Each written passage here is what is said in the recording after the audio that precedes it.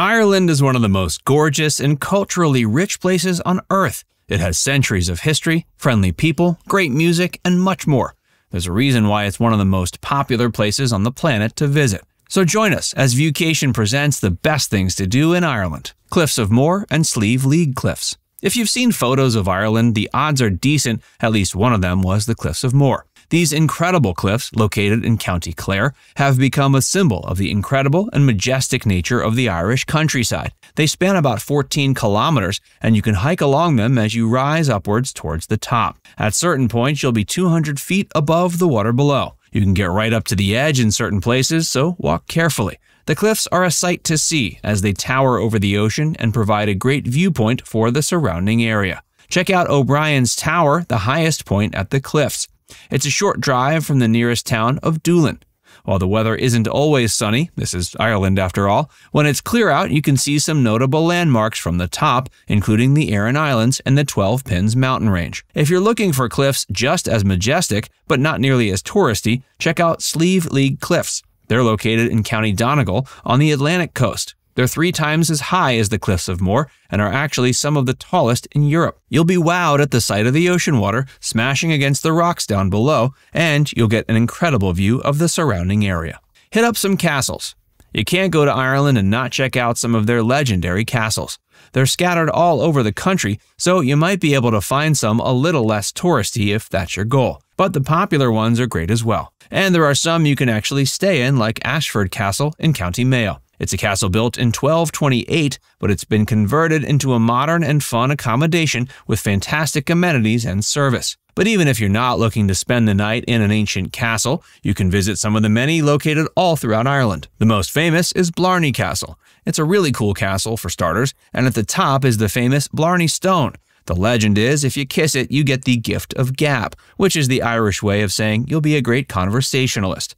The kissing process is a little daunting because you have to be held up by an attendant as you bend over backwards to kiss it, but it certainly makes for a great photo op. And in case you're worried, especially in a COVID world, about kissing the same rock as thousands of people a day, they do sanitize it after each person. It might take a little of the allure away, but at least it's a lot safer. Then there's Dublin Castle, located in Dublin, of course. It makes for a really cool tour while you're in the capital. You can even see the state apartments inside it, which have been the location for presidential inaugurations. And the Rock of Cashel is a medieval era castle in Tipperary, home to an incredible collection of medieval architecture and Celtic art. The Ring of Kerry. While the east coast of Ireland has the capital, the west coast is perhaps the more gorgeous of the two. And the Ring of Kerry is perhaps the most famous area on the west coast. It's a picturesque drive that is quintessentially Irish. You can visit Killarney Park, as well as great attractions like Ruse Castle, Gap of Dunloe, Torc Waterfall, and the Stone Pillars. If you plan ahead, you might also be able to visit the famous Skellig Michael off the coast near the Ring of Kerry. It's a magical place that has an ancient monastery, craggy rocks, and nesting puffins. And if you've seen a couple of the recent Star Wars films, The Force Awakens and The Last Jedi, then you'll remember it as the place where Luke Skywalker is living and hiding. Because of that, it's become a much more popular spot to visit. As such, you'll need to book well in advance, because there are only a few boats allowed to make the one hour trip out to sea every day. So snag your spot at least three months in advance, if not longer.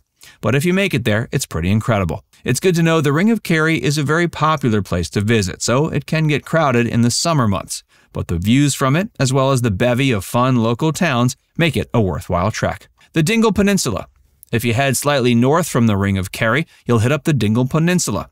It's actually the most westerly point in all of Europe. Not only does it offer incredible views of the ocean, but the town of Dingle is the epitome of a small Irish town. It has all the local flavor you'd ever want, with tons of great restaurants, shops, and pubs that you can explore. It's a colorful and vibrant town, and it's likely you won't want to leave. The best way to explore the peninsula is to drive around it and check out the various cool spots along the way. You'll find great beaches, incredible views, and more. The trip around the entire peninsula should take you a full day, so plan accordingly. You can check out Killarney and Tralee, two other excellent towns in the area.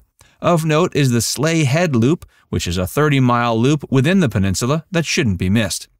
It's worth mentioning that if you're planning to visit the Ring of Kerry, the Dingle Peninsula, and the Cliffs of Moher, the best way to do it is a drive up the coast along the Wild Atlantic Way. It's a 1,600 mile road that runs along the coast, providing some of the most breathtaking views you can imagine. There are technically 157 discovery points along it, so you won't be lacking options as you go. Galway and the Aran Islands.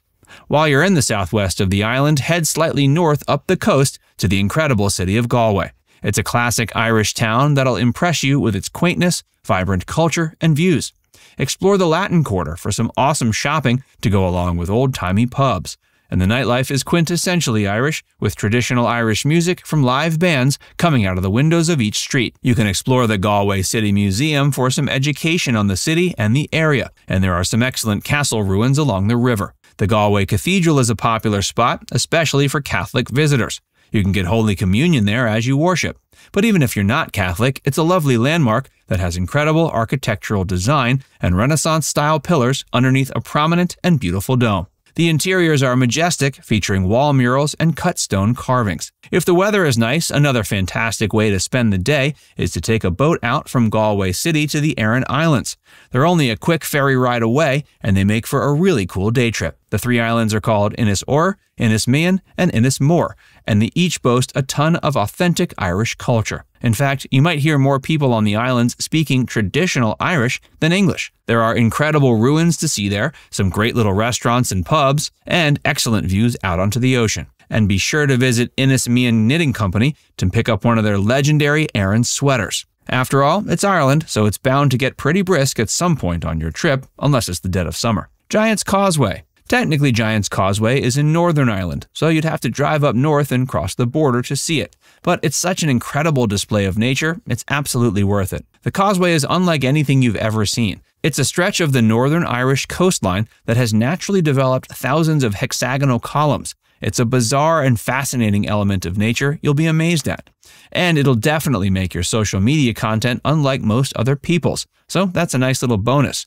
Of course, you'll probably already be populating it with loads of pictures from all over the Emerald Isle, which means it'll be popping for days. Plus, the trip up north could also give you a chance to visit some of the incredible places in Northern Ireland, like Derry and Belfast. But perhaps those will be in a separate video about Northern Ireland. Now it's time to hear from you. Have you ever been to Ireland? Did we miss any of your favorite attractions? If not, do you think you'll ever get there? Let us know in the comments section below.